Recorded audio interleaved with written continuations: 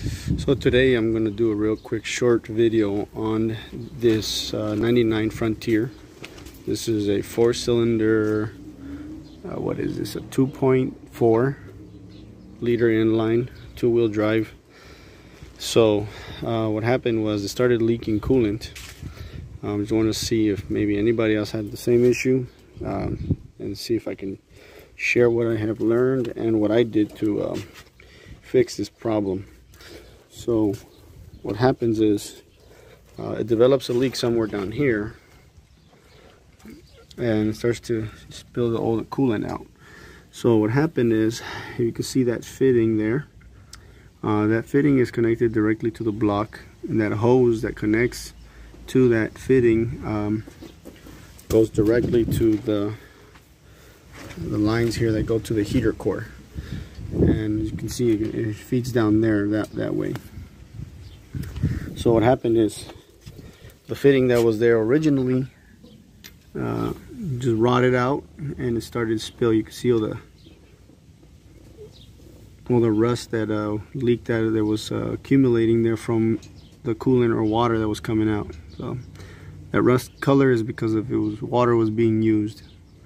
Anyway I ended up going to the uh, what Ace hardware store and got a 3 8 uh, fitting elbow fitting with a uh, 3 8 connector uh, that would that would take that hose size. Uh, I didn't get the size of the nipple but essentially has a nipple and a 3 8 uh, thread on the uh, on the nipple connector and then 3 8 the one that connects to the block there as you can see. I used brass so it won't rust out but this is what the old one looked like. And you can see it developed a hole there rusted out and another hole there and also a crack right there at the seam. Um, it's very very difficult to get out. Uh, I believe this is a 19 millimeter head so you might be able to stick a wrench in there but the trick to do to get it out uh, because it's in a very tight spot is you have to take off the starter. Starter's held in by 14 millimeter bolts, one top, one the bottom, very, very tight. What I ended up doing here, because this thing is very low, is I just grabbed it with some uh, channel locks and I bent this upward a little bit so you can stick your hand in there. Very, very tight. Um, the starter does come out, but it goes down here. Comes out through here. It's a very finicky. It'll find its way out on its own actually it's kind of weird even though it looks like there's no space. Um, but what I ended up doing was that so I tried looking for it in auto parts store anywhere very weird uh, pipe tube thing.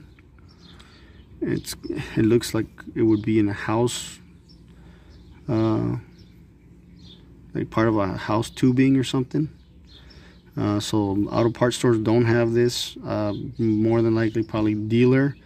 It's a weird name. It's like a heater connector tube or some crazy crap like that.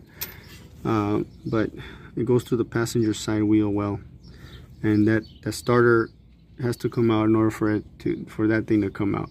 Uh, that's the easiest way, unless you want to take the intake off, which I don't think you do because there's so much going on up there with the intake. There's ground wires, there's brackets that hold it in, there's all kinds of stuff that is going to make it extremely difficult for the top. Though you'll have a lot more room if you did go to the top. Less finicky, uh, but it's doable through the bottom. Um, so yeah, that's what I used. But it's a 3 8 uh, screw pipe